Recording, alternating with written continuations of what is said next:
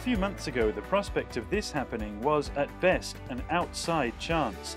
But in the midst of a pandemic that's brought the global racing industry to near standstill, the Hong Kong Jockey Club beat the odds and pulled together all its resources to ensure its biggest international meetings of the year could go ahead in style and, most importantly, in total safety. From targeted testing and strict social distancing to technological innovation and, most of all, a lot of determination. You can have all the processes, but in the end it comes depends, are you as an organization able to pull this off? And people say, if there's one organization in Hong Kong to pull this off, that's the Jockey Club. And we hope that this gives an example how maybe other sports can do this. The week of international races are the result of a year of hard work. As soon as the virus hit the city, the club created what it called a racing bubble to keep the season on track. It's had the buy-in of owners, trainers, jockeys, staff, so a lot of people to really get behind what, what, we, what we've had to do for mitigating measures, and it's, um, it's been very wide, uh, but it's been very successful, and it's led us to where we are today. The bubble required some big changes, including no spectators for most of the year and thousands of COVID-19 tests for key staff and jockeys. If we still live like normal, I would say it would be very hard to keep the virus-free bubble and we try not to uh, have you know any contact with too many friends or uh, even family members. If we didn't do that, we definitely won't be able to have the international this year.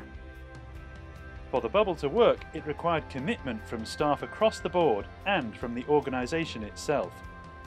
I think the club has carried out a lot of good measures, such as uh, providing masks in the critical times, and also to allow us to have flexible working arrangement. I think that is very important because we want to keep the work going as well as keeping our staff healthy. The efforts have paid off. The local racing calendar hasn't missed a single meeting all year, making Hong Kong the envy of many in the racing world.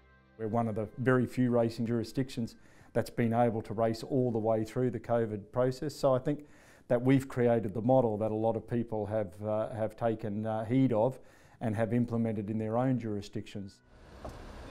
The success of that model earned the club the top level trust that was needed to make the international meetings a reality.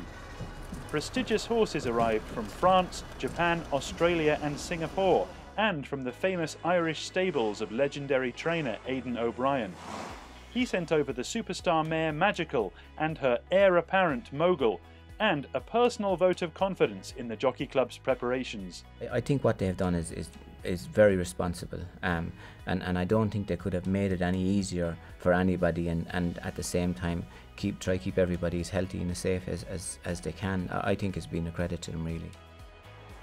To have the foreign horses here is obviously a, a challenge. Uh, but at the same time it makes the races much more exciting.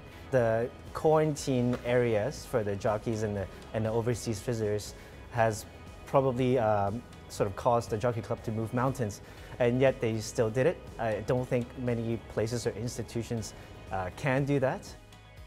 The races attracted a host of top international jockeys, including Sunday Times Sportswoman of the Year, Holly Doyle, to ensure they could all arrive safely and with minimal virus risk, the Jockey Club arranged private jets for their transfers. To protect everyone involved in the international meetings, a separate bubble was created for the visiting jockeys based at secluded club accommodation away from the city. Their rooms were deep cleaned and prepared so they could stay there at all times except when riding. I'm having a good sweat on the treadmill, thankfully put in by uh, the Hong Kong Jockey Club. And we're very lucky we've also got a couple of bits of outdoor area, uh, so we're now to have a bit of a sweat out there, and Holly's actually out there right now. An innovative hologram system was set up at their accommodation to bring everyone together virtually for the pre-race ceremonies. And Holly Doyle joins us, not in the studio, but you wouldn't know it. Hey guys, welcome to Hong Kong. Meanwhile, the club's medical team expanded its customised COVID-19 testing program. Locally, we have included testing for all racing officials and clinical vets. For overseas jockeys and personnel, we test them daily. We also have two teams of chief medical officers taking care of both the local jockeys and the foreign jockeys. Local jockeys At the racetrack, teams carried out weeks of rehearsals to reorganise race day formalities. So international jockeys on this side, and then local jockeys on the other side. They set up multiple social distancing cordons for race days, even between jockeys and trainers.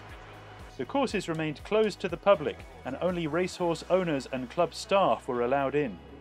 Despite the lack of crowds, it didn't dampen the excitement for those working at trackside. There are uh, senior racing fans that have been doing this for years. You know, there are younger racing fans as well, like myself. But if we can't watch races on TV or if we can't even enjoy this, you know, hobby of ours, and we're stuck in the middle of a pandemic, how boring life could be. There was no shortage of entertainment on the track, with Hong Kong's champion jockey Zac Purton edging out a hard-fought victory in the International Jockeys Championship. There was a standout win for local high-flying favourites Vincent Ho and Golden Sixty. All of Golden Sixty's success has come inside the Hong Kong racing bubble, but the rest of the world has certainly taken notice. He enters 2021 ranked among the world's top 10 racehorses. Meanwhile, Japan's top challengers put on a stellar display, helping to lift the spirits after a year of coronavirus challenges. Congratulations! Atmosphere uh, is not so uh, bright in Japan, so I hope uh, this two win made our Japanese racing fan be happy, and it is most needed to be happy in under these circumstances. The international meetings have also been a boost for the city's psyche and its economy. Horse racing is the most popular spectator sport in Hong Kong, and the Jockey Club is the city's top taxpayer and one of its biggest employers. It's also one of the world's biggest charitable organizations. We are extremely proud that we could stage such a global international event, which again shows the uniqueness of Hong Kong. It shows the uniqueness of the Jockey Club and it creates value for the community, which I think is extremely important. While the race meetings may have helped to cement Hong Kong's international racing profile, the Jockey Club is taking nothing for granted, and the planning is already beginning for the international races in 2021.